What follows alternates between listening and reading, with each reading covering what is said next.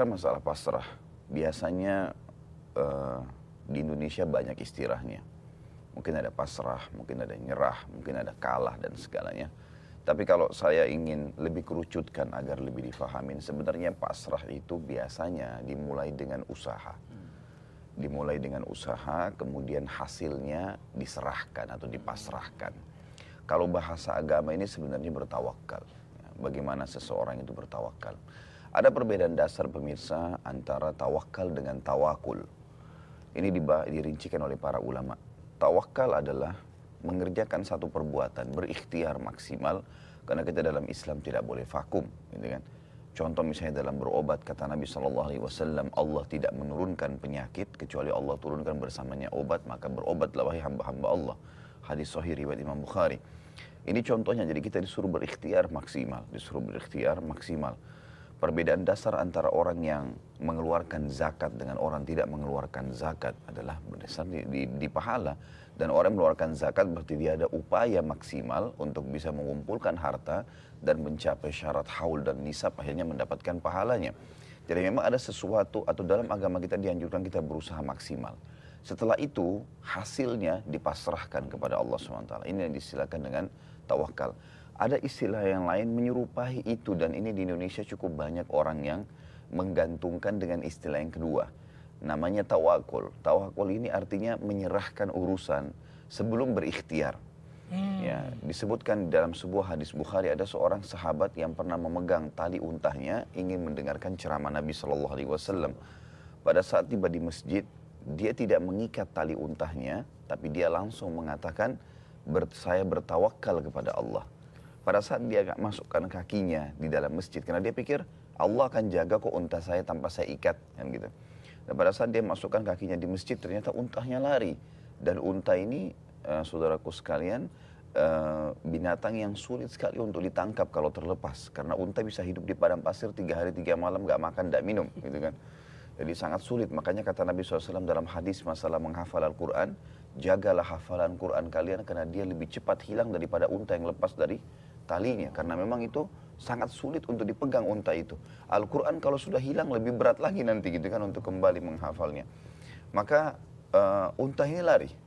Orang ini bingung antara menghadiri majelis Nabi Shallallahu Alaihi Wasallam atau mengejar untahnya. Akhirnya dia lebih cenderung mengejar unta dengan maksud tangkap untah dulu, kemudian dia datang, kemudian baru dia hadiri majelis Nabi Shallallahu Alaihi Wasallam. Ternyata pada saat dia lari mengejar untanya dia nggak temukan dan cukup lama. Pada saat dia kembali ke masjid, sudah kehilangan unta, majelis Nabi SAW sudah bubar.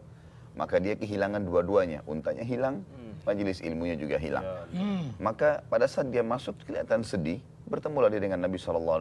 Kata Nabi SAW, ada apa dengan kamu? Dia bilang, ya Rasulullah ceritanya seperti ini. Tadi saya datang, tadi saya tidak ikat unta saya, saya bilang saya bertawakal kepada Allah, ternyata unta itu lari. Saya kejar, saya kehilangan unta, saya kembali ke sini ingin majlis-majlis, tapi juga tidak mendapatkan. Apa kata Nabi SAW? Iqilha wa Allah. Ikat dulu untahmu, baru kamu bertawakal. Jadi kita disuruh berusaha dulu, ya, berusaha dulu. Tidak boleh seseorang itu vakum saja, gitu kan. Memang dalam agama Islam, saudaraku sekalian, rezeki itu rezeki adalah sesuatu yang dibutuhkan oleh seorang hamba. Dijelaskan oleh para ulama, ada yang seperti kalau ibarat sebuah pohon, ada yang berjatuhan, bergeletakan, ada yang bergantungan atau bergelantungan.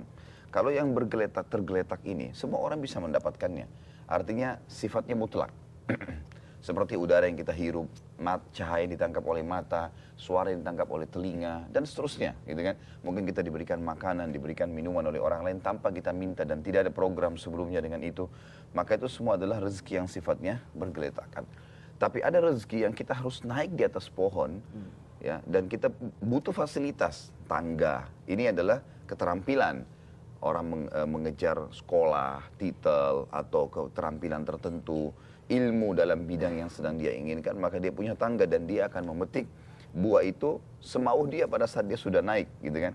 Cuma dalam Islam disuruh memetik buah yang bagus saja. Kalau bahasa kita yang halal saja. Karena buah yang busuk itu haram, nggak boleh. Yang bergeletakan dan yang bergelantungan juga tidak boleh. Kecuali buah durian. Tepuk. Ah, itu paling segar tuh. Oh iya. Baik. Eh, berhubungan dengan masalah ini, berhubungan dengan masalah tawakal misalnya dalam masalah rezeki, kalau seseorang itu cuma duduk Fahkum, apakah akan datang kepadanya rezeki yang berjatuhan? Iya. Tapi tidak akan bertambah karena dia tidak berikhtiar. Dan ini masuk dalam statement Umar bin Khattab yang berkata kepada seorang tabi'in di zaman khilafahnya beliau waktu beliau jadi raja. Ada satu orang untuk Umar bin Khattab datang jadi imam subuh. Orang ini ternyata ada di masjid lagi duduk. Dengan pakaiannya Umar bin Khattab mengenal dia. Kemudian selesai sholat subuh, Umar bin Khattab duduk sampai syuruk, terbit matahari, kemudian beliau pulang beraktivitas. Beliau ngurus kebunnya, beliau mengurus masyarakatnya dan seterusnya. Tiba waktu duhur beliau datang ke masjid untuk sholat seperti umumnya kaum muslimin yang sudah faham sunnah Nabi SAW. Maka dia temukan laki-laki ini masih sama. Posisi duduknya sama, pakaiannya masih sama. Jelas orang ini belum keluar dari masjid gitu ya. Kemudian Umar bin Khattab biarkan Beliau pulang habis sholat duhur, sunnahnya kailula. Kailula itu istirahat di siang hari. Hmm. Itu sunnah Nabi SAW. Maka, Amar tadi, Amar kailula. Maka akhirnya pulanglah Umar bin Khattab ke rumahnya istirahat. Kembali lagi waktu asar, ternyata orang itu masih sama dengan pakaian yang sama, posisi yang sama. Gitu hmm. Gitu kan. Artinya orang ini belum keluar nih. Kemudian Umar bin Khattab masih membiarkan. Tiba waktu maghrib, waktu kembali juga masih sama. Isya masih sama. Terakhir waktu selesai sholat Isya, kata Umar bin Khattab, wahai saudaraku, keluarlah dari masjid dan berikhtiarlah. Karena Allah tidak pernah catatkan sebagai takdir, itu emas akan turun dari langit. Artinya, kamu harus keluar berikhtiar, mencoba gitu kan, berusaha. Memang semua harus berusaha. Sunnatullah kita harus berusaha. Untuk menghilangkan rasa lapar bagaimana caranya? Harus ada ikhtiar.